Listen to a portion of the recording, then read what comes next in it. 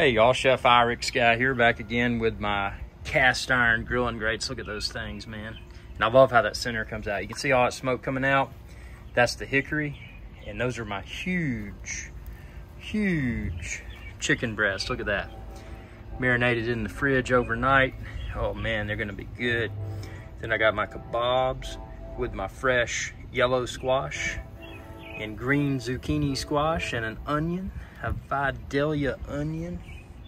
Look at that. Ooh, you can just smell, man. If you could smell that hickory smoke, just get you excited. Look at that.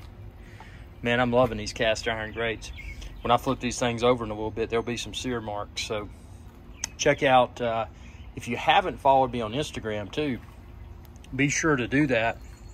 And you can see all of uh, Chef IrixGuy's cooking photos as well as videos. Now, obviously, I'll post most of my videos here on YouTube, but you know, some short clips and photos I'll put on I'll put on Instagram. So definitely check that out.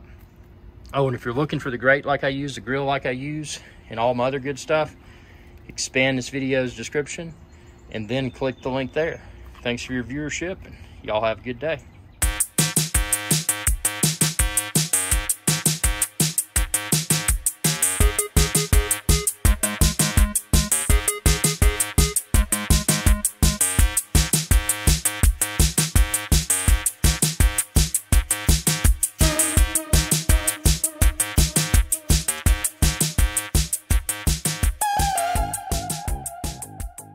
Hey y'all, Captain IrixGuy here. I hope y'all enjoyed this video. If you did, please be sure to subscribe. It's youtube.com forward slash IrixGuy.